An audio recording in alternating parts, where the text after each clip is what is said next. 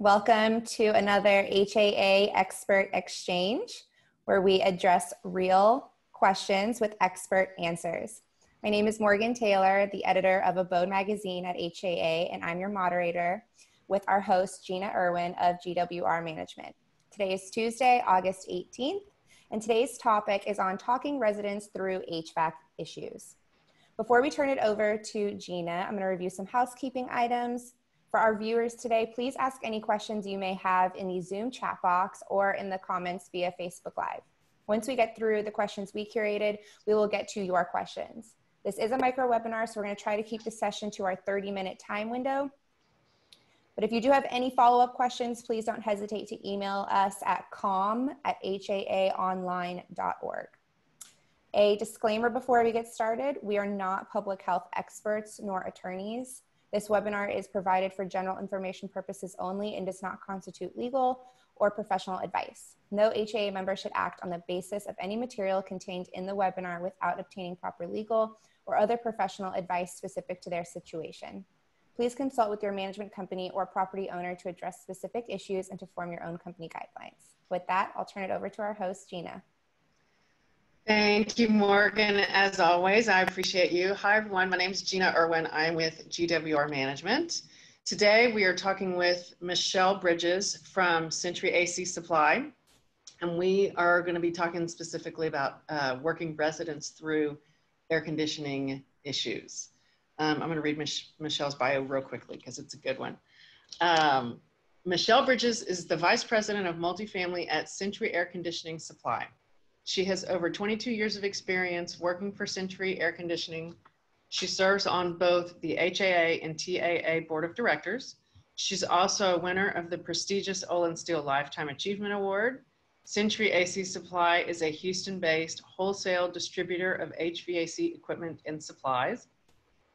Founded in 1973 by Dennis Bearden, Century Air Conditioning Supply is a privately owned company serving the multifamily industry, residential and commercial air conditioning contractors, schools, government entities, and industrial companies throughout the state of Texas.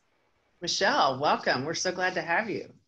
Thank you very much, Gina. I'm very happy to be here today. Good. Well, I mean, let's let's move right into it. I mean, obviously, you know, it's Houston, it's hot, and AC is, is a big issue, and it's not something that can be ignored. Um, given the environment and that we're limited going into residence apartments, I think a lot of people have shifted to sort of emergency maintenance only. AC obviously qualifies when it's 100 outside. Um, how, how can we address this as an industry given the sort of self-imposed restrictions we've done? Wow, great question, Gina you're right. When it's hot, and it has been hot all this week, there's a lot of things that we can do to help keep maintenance staff out of units if possible and to help them be as efficient as possible. With just a little bit of help from the office staff, we can ask residents to do some just kind of basic troubleshooting over the phone to help solve some of their air conditioning problems. That kind of gives maintenance a hand up whenever it's time for them to get in there. Perfect. So AC requests come in. What sort of questions are we supposed to be asking people? Well, you know, the first thing that you want to do is you want to make sure that the thermostat is set properly. So when you're looking at the thermostat, you want to make sure that it's set to the cool position. Um, that may sound pretty self-explanatory, but a lot of times it gets shifted to off or maybe even to heat. So we want to make sure that it's set in the cool position. We also want to make sure that the fan is set to on. You can set it in the auto position, and that's a great position to save energy. But if we want to see if the air conditioner is working properly, we do want to go ahead and make sure that that is set to on. In addition to that, we want to make sure that it is set to a temperature that is cooler than what it actually is in the room. If it's warmer or equal to the room temperature, the thermostat will think that it's done its job and satisfied, and it won't call for cooling. And then we do want to make sure that we give the, the air conditioner an adequate time to respond. So we need to make sure that the thermostat has been set this way for at least 20 minutes, because if it's gotten warm and humid in an apartment, the first thing that the air conditioner will do is remove the humidity, which will take it a little bit longer to bring down the temperature. So it might take a few minutes to actually see that, even though the air conditioner is performing as it should be. Okay, come on. Do really people accidentally get it set to heat in, in August in Houston? I mean, you would be surprised. Ask your maintenance folks. They will tell you some stories. They will tell you some stories. I yes, can, but that's I one of their favorite fixes, right? They get to come in and be the hero. Let's just set it to cool, problem solved. It's a great day for everyone. Okay, perfect. So I get it. You know, uh, most people don't have the, the simple knowledge that we might have um, having served this industry for so long. So, so you walk someone through all of that. You walk someone through the thermostat. You walk them through the settings, make sure it's right. What if that doesn't work? Then what? If the thermostat's set properly, the next biggest villain that's the easiest to solve is checking out that AC filter. If the filter has gotten dirty, and sometimes they can get pretty dirty, especially for home a lot more these days than we're accustomed to being home. It might be an unusual case. If that filter gets dirty, it absolutely makes it harder for the air conditioner to breathe, so to speak. We starve the air conditioner of the incoming air. So we do want to make sure that that AC filter is nice and clean. Okay, and and this next question, uh, I already I want to go on record and say I already know the answer to it, but I'm going to ask it anyway. um, so the AC filters, and, and we do tend to forget kind of the simple things. Are you set to cool? Are, you know, is your AC filter clean? But is the is the filter really that that critical to the amount of cooling that can take place in an apartment? Absolutely. That really is the place where all the air comes in. And if the air conditioner is not getting an adequate amount of air, it really cannot perform properly. It needs to have an adequate amount moving through the coils. And one of the things that residents probably also need to make sure is that they don't have a filter that has too high a MERV factor, MERV. Um, what that does is it's much harder for the air conditioner to pull air through, and that kind of does the same thing kind of starves the air conditioner a little bit. Now, properties tend to do a fabulous job of having the right MERV. It's kind of when the residents decide that they're going to do their own filters that this might be a concern. Okay, that makes sense. All right, so these are great steps, great questions that we're going to ask people before we enter. Let's say we've walked through all of this and it's we're it's still not working properly and we can't get it resolved. What else can residents do before we actually have to come into their apartments? Fabulous. You know, the next thing that we want to know is how is the inside part of the air conditioner performing?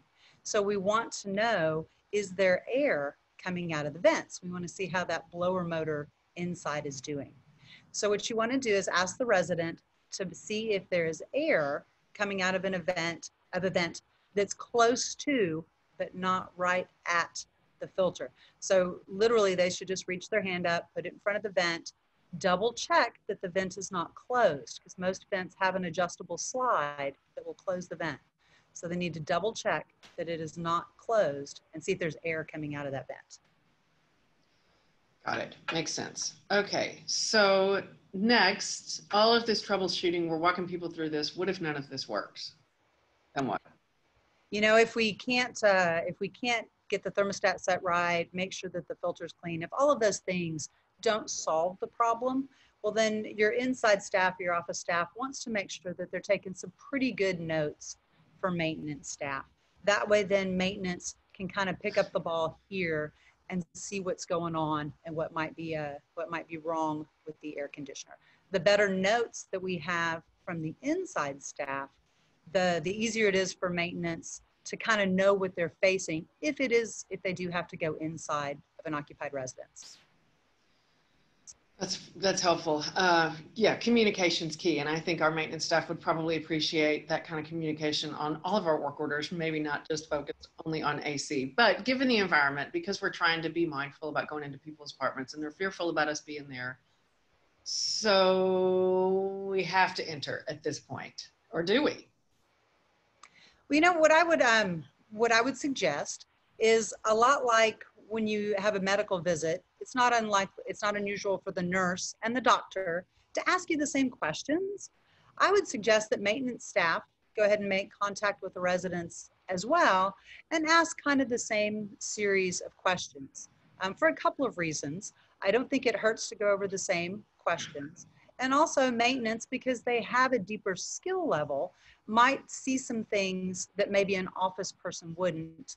And again that would help maintenance when they're ready to go should they need to to go into the apartment to be better prepared and and to have their tools ready and you know, know what they're looking at know what their diagnosis is. Uh, so the maintenance folks do they have to go inside at this point? Can they check the outside first? I mean what sort of steps or protocols should they or can they take Leave absolutely. there's a number resort. of things. I'm sorry i didn't mean to talk over you. That's okay. Absolutely. There's a number of things that they can check in the air conditioner that are actually outside. Air conditioning systems are made up of kind of two different components. There's the electrical component which is both inside and outside but then there's the mechanical component which is accessed and repaired pretty much just outside.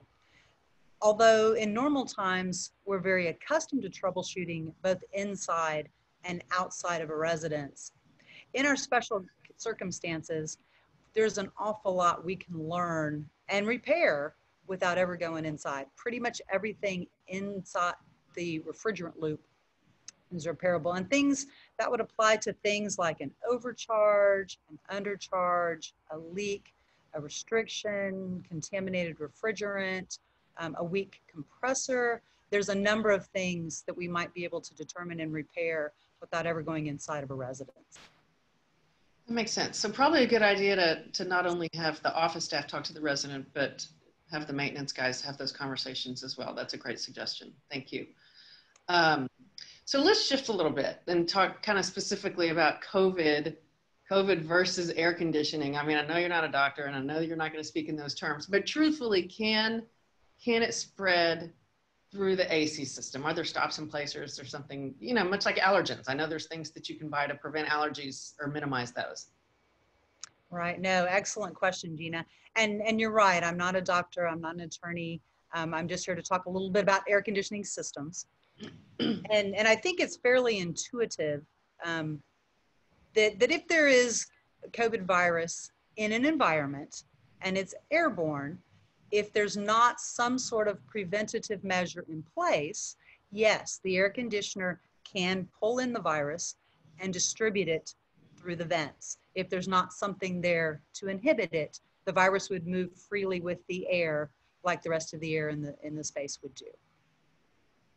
So let's dig into that. So what is an inhibitor exactly, and, and that look like, and put that put that in English for those of us that don't know what. That so with the uh, with the virus, an inhibitor is something that would kill it, stop it from spreading, you know, diminish its effectiveness, any of those things.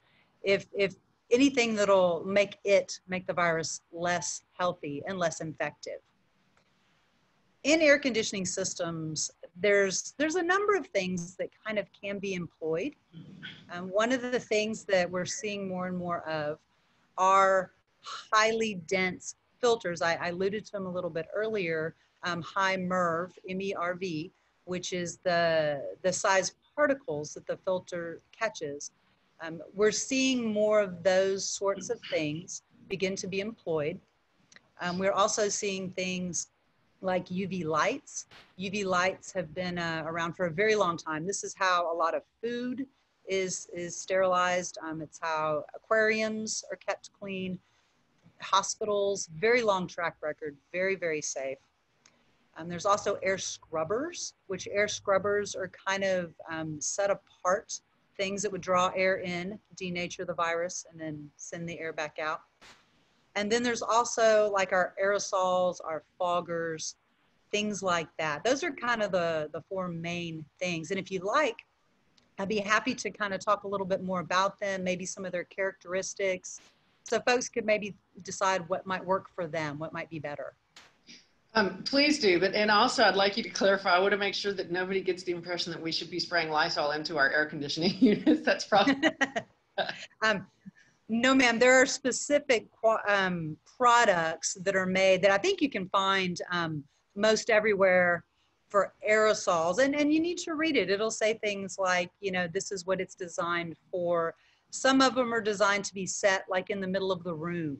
And, and it, you know, brings that aerosol. With any sort of product, whether it's a UV light or whether it's an aerosol, it is critically important that we read the directions, we read them very carefully, and we follow them exactly.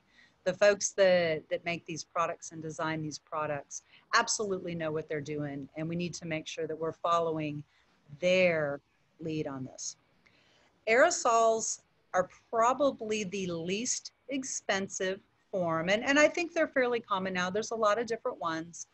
Um, good ones frequently say that they're used in hospitals and it'll say what viruses that they kill. And, and again, you want to read the directions and make sure that it works for your specific situation.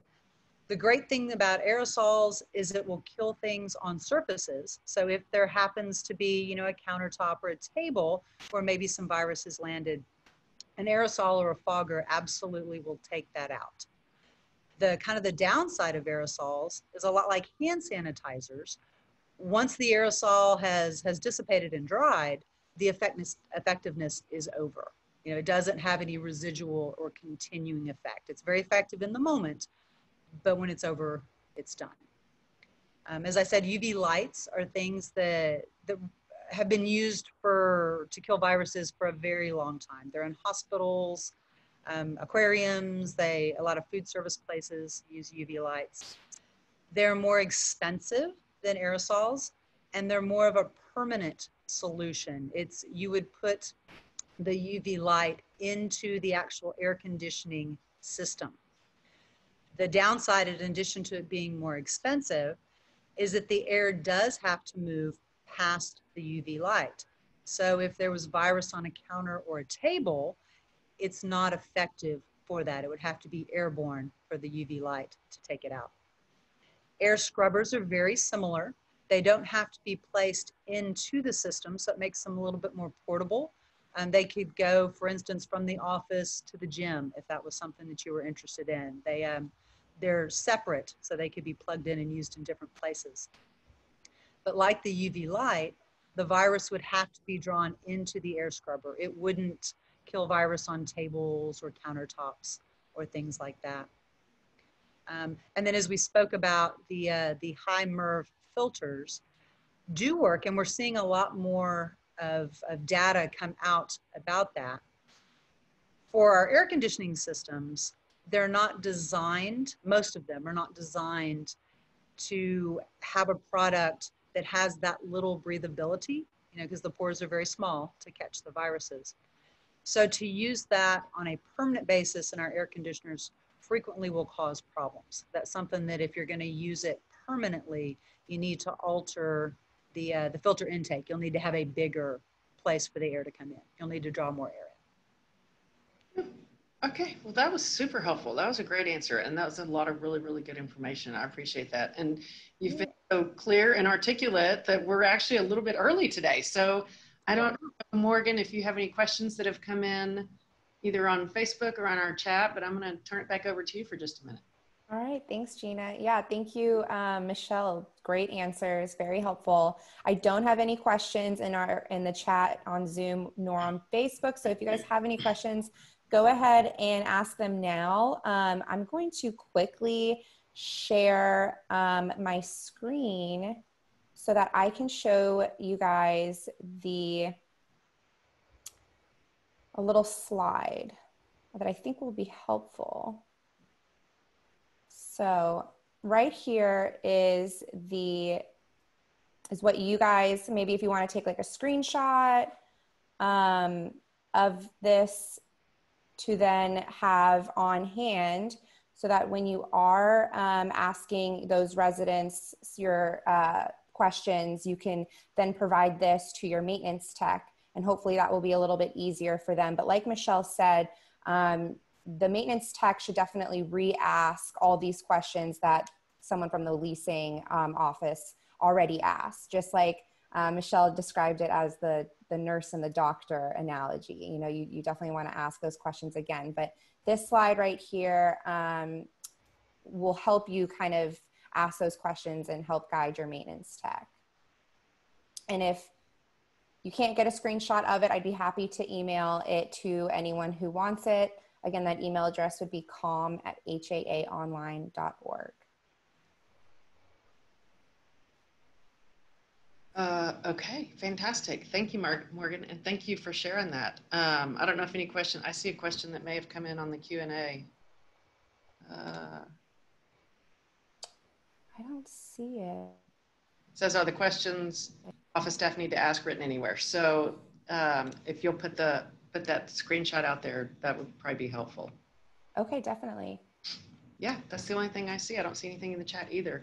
Um, well, fantastic. Michelle, thank you again. We really appreciate you joining us today. Um, super helpful information. Appreciate it very, very much. Um, so next week, next week is going to be our last expert exchange for the summer. So please tune in. We will pick back up in October uh, for sure. And in the meantime, if anyone has any topics or anything they'd be interested in seeing, please send that in to us as well because we're always looking for great ideas. Um, next week, join us please again Tuesday at the same time. We are going to be talking about plumbing, which um, I don't know if that, not sure yet exactly the details, whether it's going to be about supplies or kind of similar to what we talked about troubleshooting with residents when they call. Um, but we will look forward to seeing you all next week. Thank you so much. Thank you, everyone.